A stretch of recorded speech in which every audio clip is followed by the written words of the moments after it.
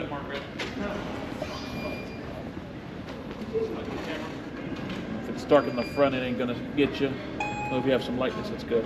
Oh, Yeah, not not made for black people. No, no, no. Uh, what about him?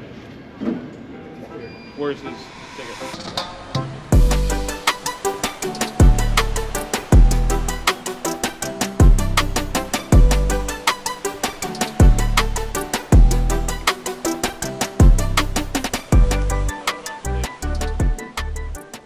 Where's his ticket? Or can I see it? Colton? Okay, thank you.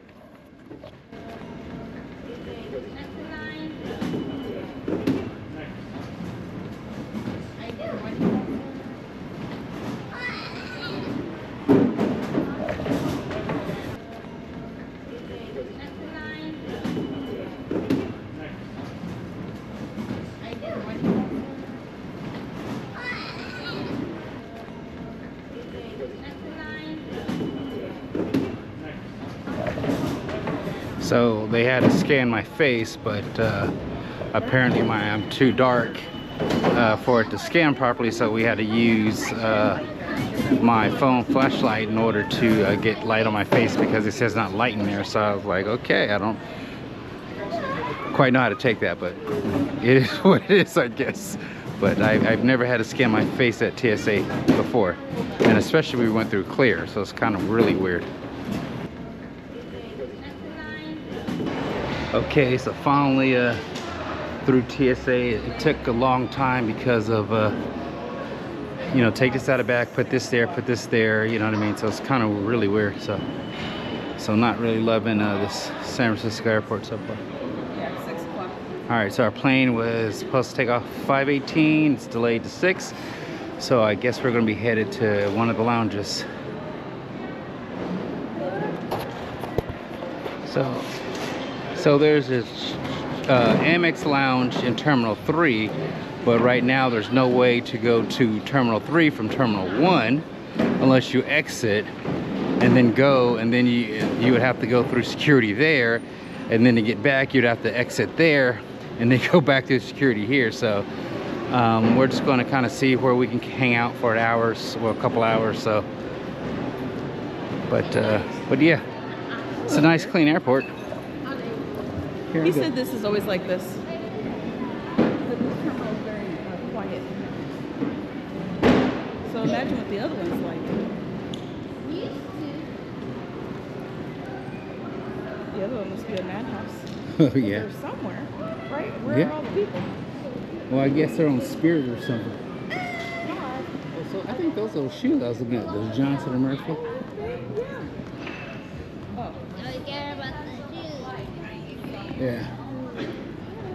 It's gonna go perfect for my new one. oh, there it goes. There it goes. Oh, you're so clever. So get it and go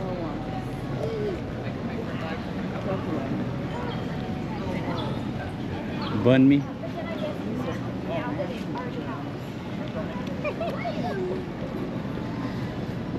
There's uh, some stations over here.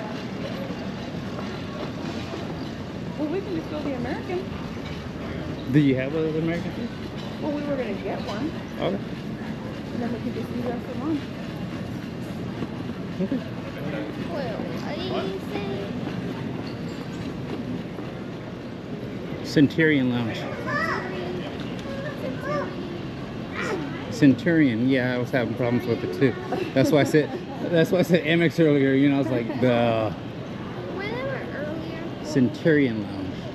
where we compare that Centurion Lounge to the Capital One Lounge, Yeah, Capital One Lounge. I think is a lot better than the Centurion Lounge. I think I, I think I agree, and you make a point. Because the Capital One Lounge is better than the Centurion. Lounge.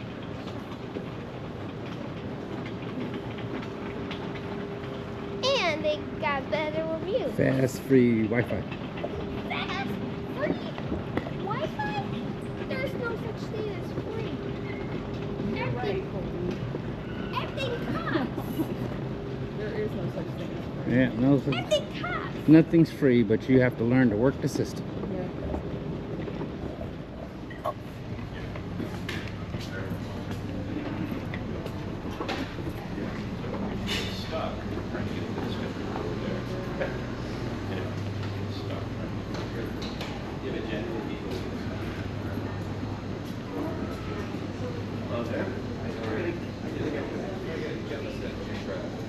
Tell your mom there's tables back here.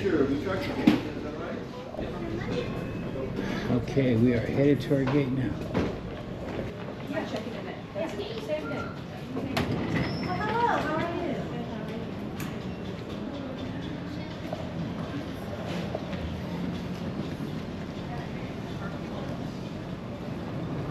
Oh, look at all of them. the Giants, Dove City, or Golden State Warriors, and then you got the.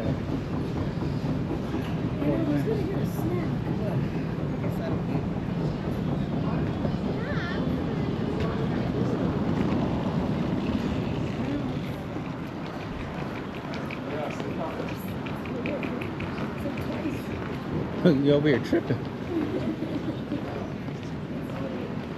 Well, you want to get a snack? I'll meet you at the gate. Here, give me the. You have your purse?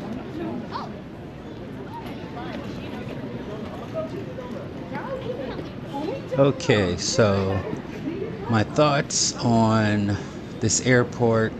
Well, first let me say I normally, uh, when I go to the Bay Area, I normally fly into San Jose or Oakland, and uh, just recently uh, started flying American to Monterey directly. Um, I've tried to fly out, I mean, into uh, San Francisco a few times, but uh, got diverted or canceled because of the fog.